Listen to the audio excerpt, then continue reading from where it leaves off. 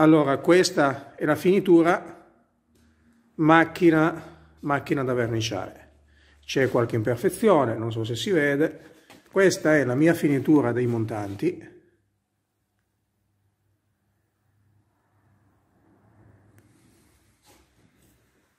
Per intenderci, vi faccio vedere com'era la macchina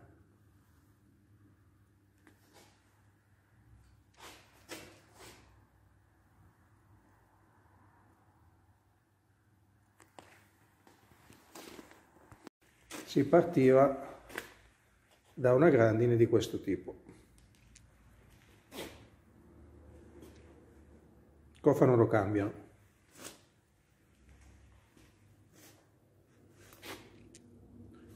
Quindi questa è la finitura che si riesce a ottenere su macchine da verniciare. Quindi non è necessario dare stucco ovviamente. In preparazione si risparmia un mucchio di tempo. Questa è una macchina che ha richiesto un giorno e mezzo di lavoro. È già, è già eh, diciamo, una buona lavorazione così, adesso vedo se, ma questo più per, eh, per dare una finitura ancora migliore, far smontare il portellone, e in, in un'oretta eh, insomma rifinirla, rifinirla perfettamente.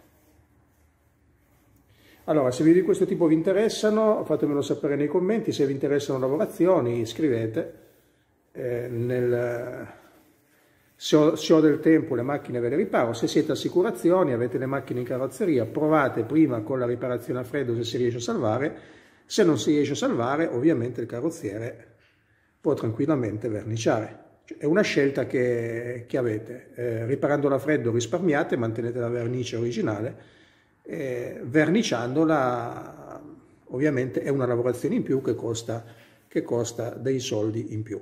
Eh, se avete dei commenti eh, scriveteli sotto il video, eh, se avete riparazioni, siete carrozzerie, ripeto, o assicurazioni, contattatemi. Per i corsi, in questo periodo solo corsi che durano eh, del tempo in affiancamento. Ci vediamo nei prossimi video. Allora, portellone smontato, messo sul cavalletto. Adesso andiamo a rimuovere quelli che sono i tagli, le smagliature e gli strappetti. Vettura comunque da riverniciare andava bene anche così, c'è qualche piccola imperfezione, la andiamo a rimuovere. Questa è la macchina portata in piano, quindi inquadrata prima dai lati e poi dal retro sganciando il baule e mettendolo sul cavalletto. Quindi questa è la finitura di una macchina da riverniciare. Quindi non sarebbe richiesta una finitura del genere però per il mio modo di lavorare le macchine da verniciare le consegno, le consegno così.